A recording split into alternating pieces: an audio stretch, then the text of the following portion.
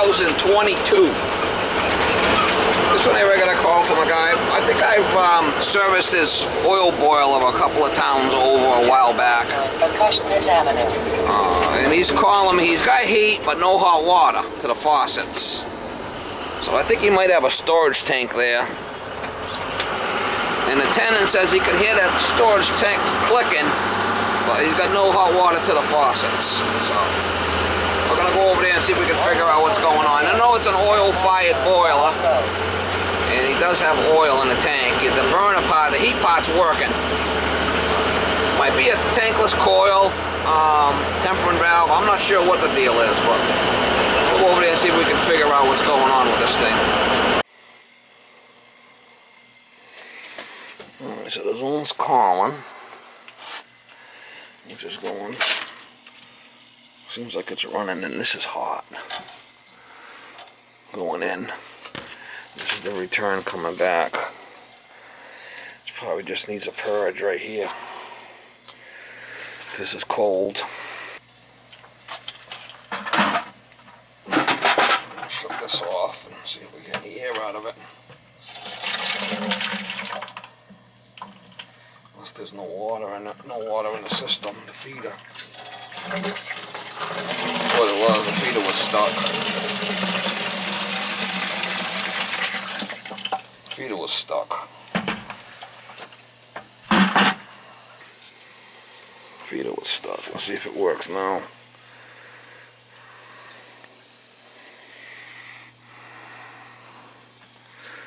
This is nice and hot. Yeah, just airbound, that's all it was. The feeder was stuck a little bit. I was back here on new nozzle. Just needed a little, a little doucheroo, is all it was. That's running because I could feel it. Red hot on the supply, typical. Put a screwdriver to it. Put it right into your ear. You can hear it. Yeah, that's all it was, was just a little purged. Needed a little needed a little purge. What the hell is that thing?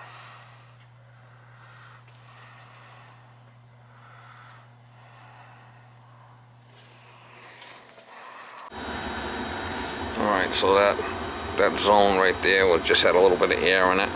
Get to purge it. And um, feeder was stuck. Typical. Last time I was here I did a new filter tank burner. Uh, nozzle burner. Clean return. Retention head. Good oil flow, good draft. So I just did this service on the burner. Uh, now I did the purge storage tank zone it was airbound. She's she's working. She's good now. Pressure is in this thing.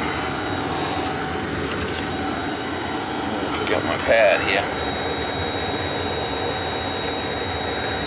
I don't know how old the tank is, but.